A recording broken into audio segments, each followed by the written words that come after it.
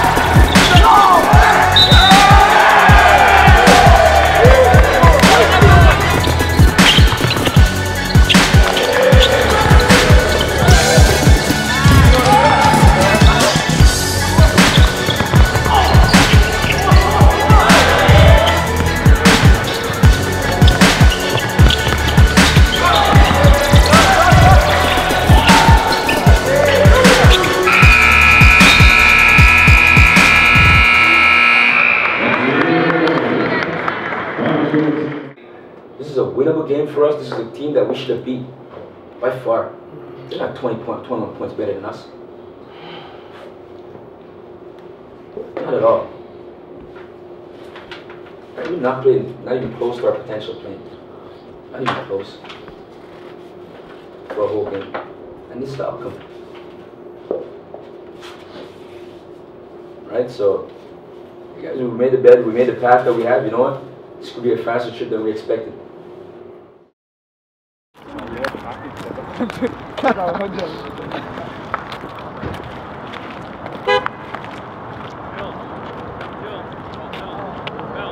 right. So we get the basket, basketball inside, go to work.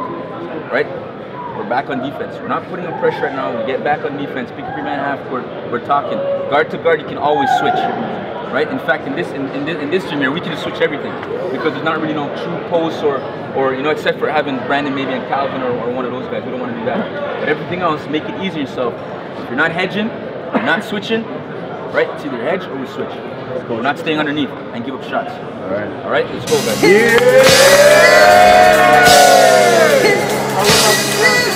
quit.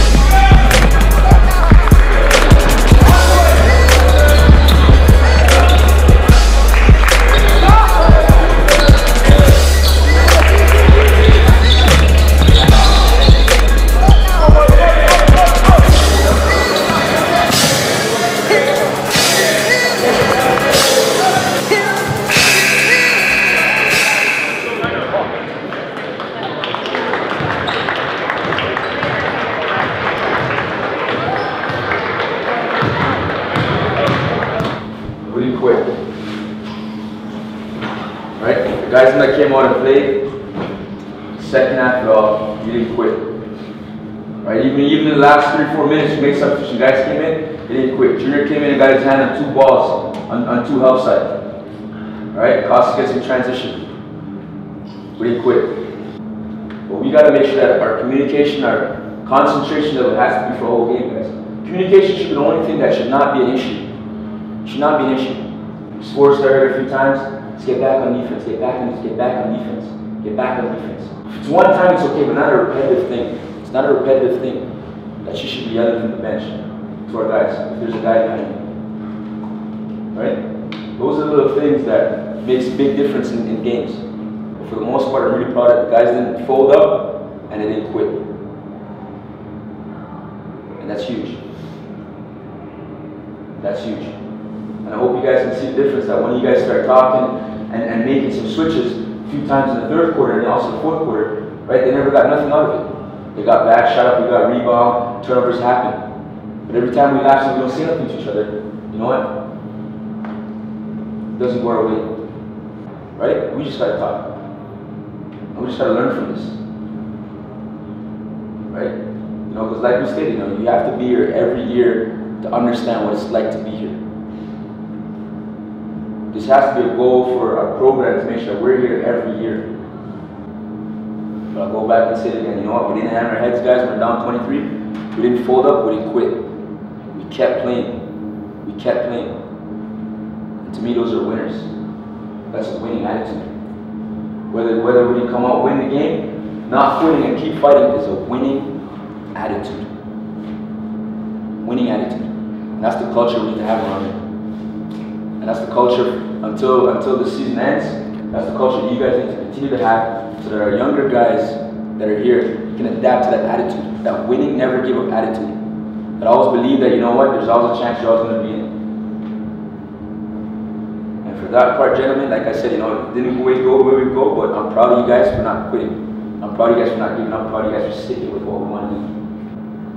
If you guys see, after the first quarter, we're down 20 points. And by early into the fourth, we shrunk that lead, which meant that from that first quarter, we had actually played very consistent basketball. And the one thing I said to Donald from that first quarter was, we weren't playing team basketball. We were five individual guys on the court. And the one thing that is so great about our team is when we do play so well together. You guys know where each other is, you know where to find each other and all the rest of it. So despite the fact that we didn't get the W the way that we wanted to today, nor yesterday, um, there's a lot of positive building blocks, like Coach was saying. And, you know, again, our foul shooting was something like 80% today. It was huge, uh, which made a huge, big difference. And of course, Brandon also. And even when, you know, Darren was in boxing out, putting bodies on people, it makes a big difference. Throws people off their game. When we give people wide open looks, it's too comfortable. It's too easy as shooting, shooting practice. But anyway, we do have a game tonight, guys. This is determined now that rather than saying championship bracket, we move to a consolation bracket. But there's still a championship up for grabs in the consolation bracket. You guys now can determine whether this tournament's done for us. We have the possibility of three more games in this tournament. So as much as we take the L's right now, there's a lot of positives. And so we gotta carry that momentum into tonight. We have to take care of ourselves over the next few hours, you guys. This is a tough stretch. We have, you know, whatever, however many hours off between games. So, you know, gotta rest, gotta rehydrate, we gotta make sure we're eating. And, I mean, I, I still wanna walk out of here with the championship in. So I hope you guys do too, and, and I hope you guys recognize what it is we need to do. All right, bring it in, guys. Don't hold your heads down low. You guys did a good, good three quarters. Yeah.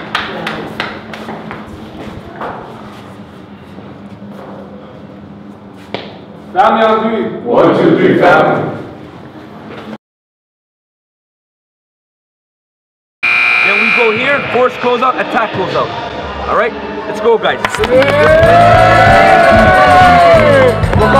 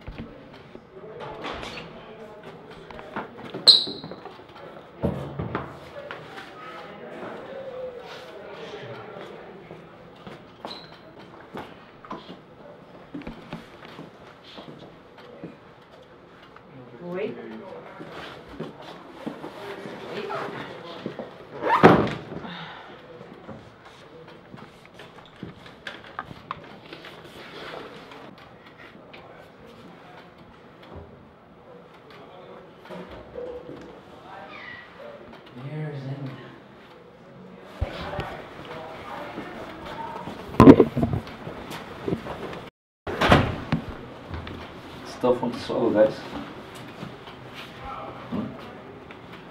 Basketball guys didn't want to smile on us today. I was just saying to Miss Forrester, it's like every time we catch a break, we're by the, you know, we're by the rim. We miss a bunny, they come back, they hit a shot. You know, miss a couple free throws, right? Game would have went a different way. That's how it goes sometimes, right? So we always have to make sure that we don't take things for granted. We're in a position to make a basket, we gotta make a basket. Because we don't know we don't know what the outcome of the game is gonna be. When you get in the game, you gotta take your ball. Alright? Fortunately, you know, there's always winners and losers. It sucks to be in the losing end. Definitely does. For sure. Right? But I hope you guys, you know, some of you guys, you know, in fact, I hope all you guys can learn from this. You know, when you're in a position, don't take it for granted. Right? If you get a chance to make a lay, make that layup. Even if you're gonna get another chance to, make the next one again. You got that free throw at the line, take your time. I'm just fortunate to say all year. You got 10 seconds. Alright? Well guys, we did we did a lot of good things this year, man. I mean, we accomplished a lot this year. Definitely accomplished a lot this year. You know, but I mean like not to get one year, you know, I mean it sucks. Definitely sucks. But you know, like we always say, you know, to be here, to know what it's like to you know to know how hard you gotta work. To know how hard that you know I guarantee you if you guys are in another position like this again, whether it's you know we're back here or you know you're at university or college whatever it is, you're gonna you're not you're not gonna make the best of it. Guarantee you. Guarantee you. Right?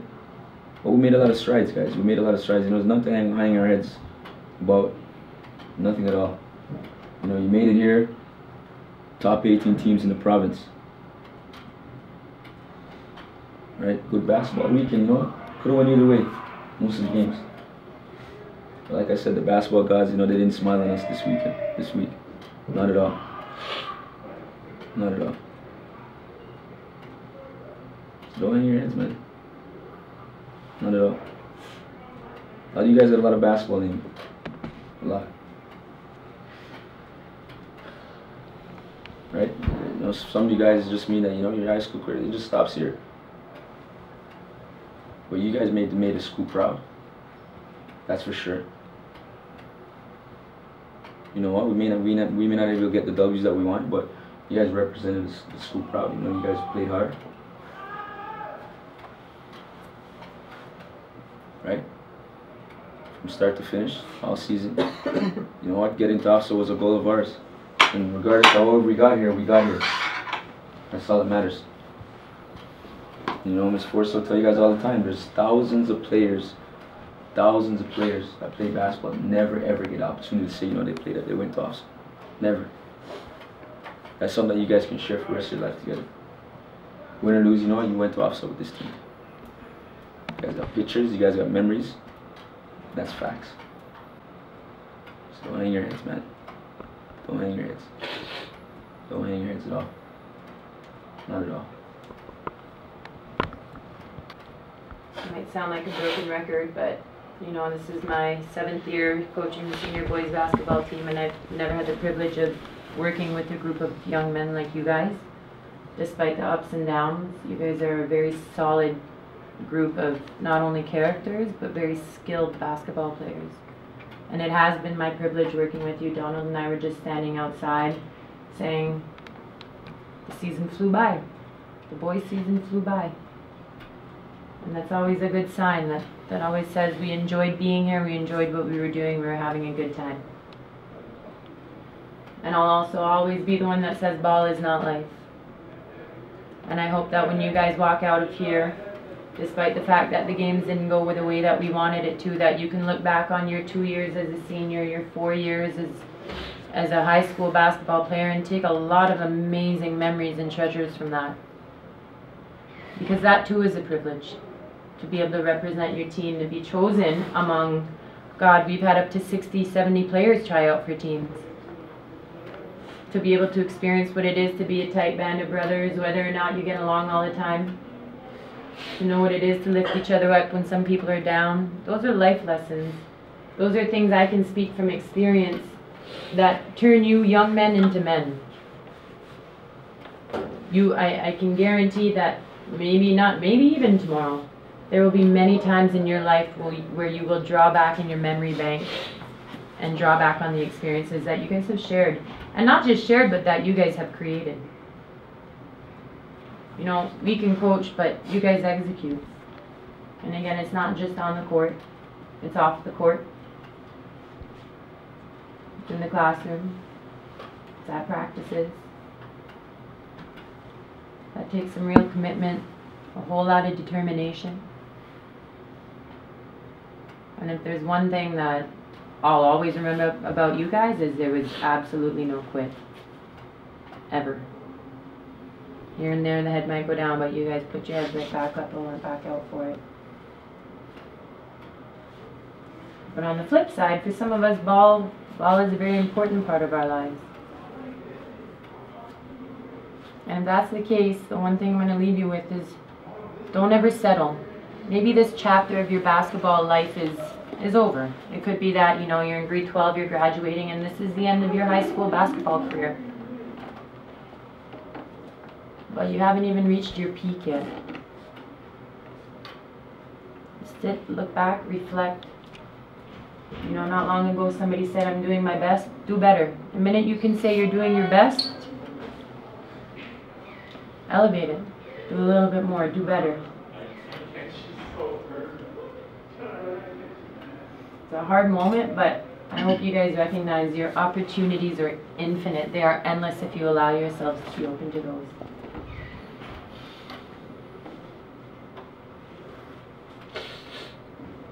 I know what it's like to sit in your shoes, but I'm just gonna finish off just by saying I'm super proud of you guys, and I hope that once this thing goes away, you guys are proud of you guys too.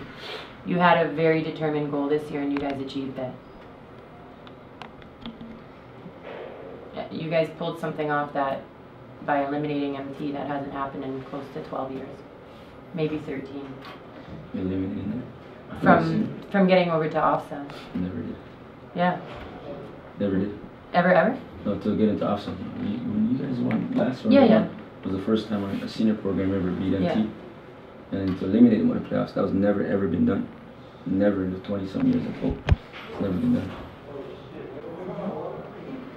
From the perspective of coaches, obviously, we're very proud, but I can speak from the perspective of our athletic program as a whole. And I can't say that in the past we've always been able to look up to our senior boys basketball team, but I've watched the juniors this year look up to you guys and want to be like you guys.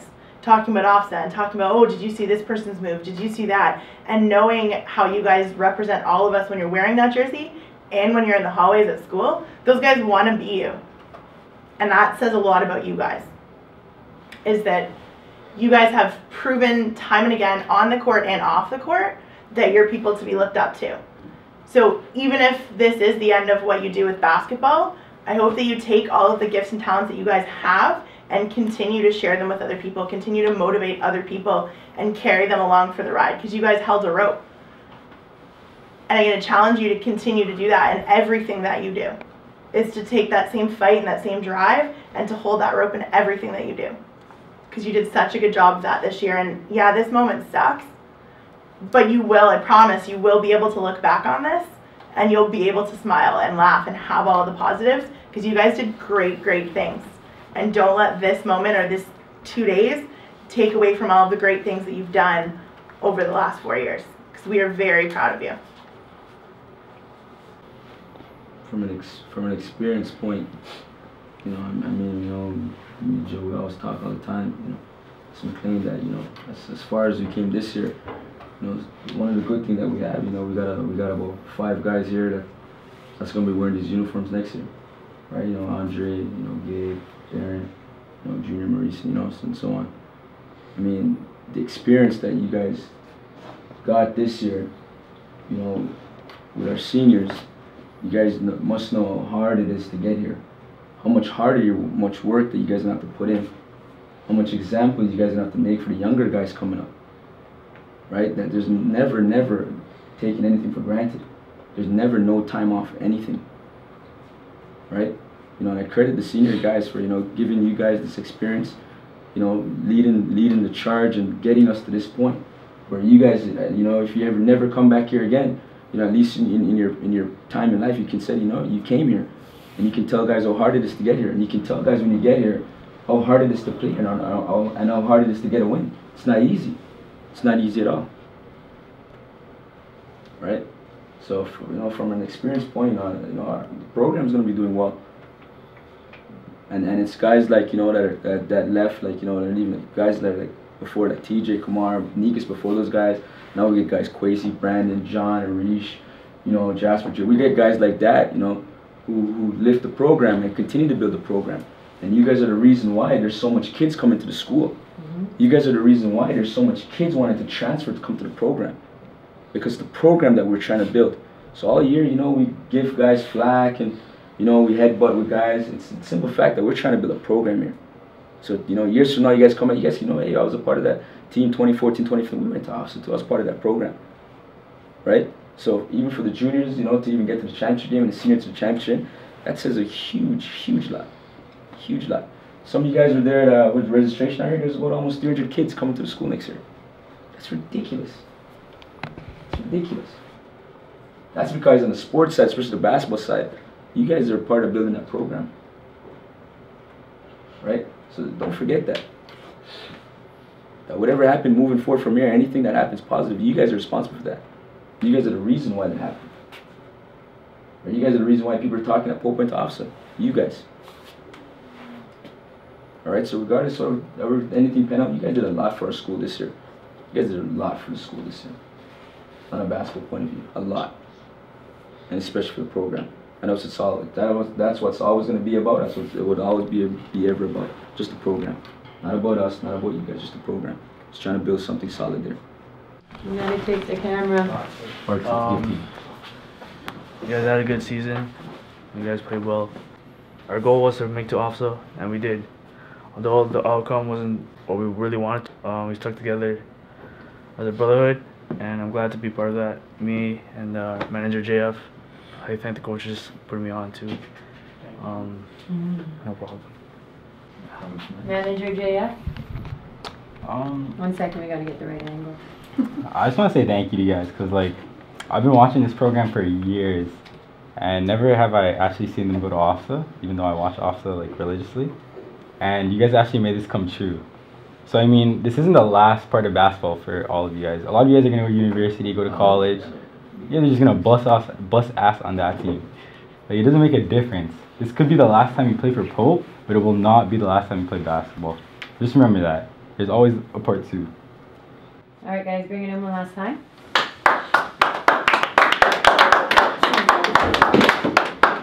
Get in, get in, get in, get in.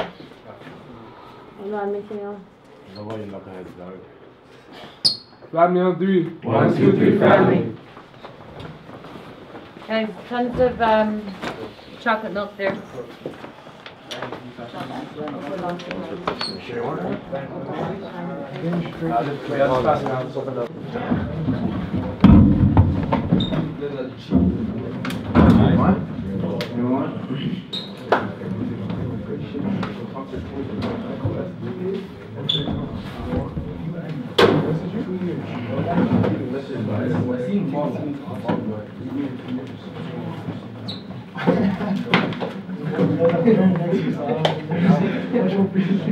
amended. You're shifting. I think there's no chance next week. No, no defense.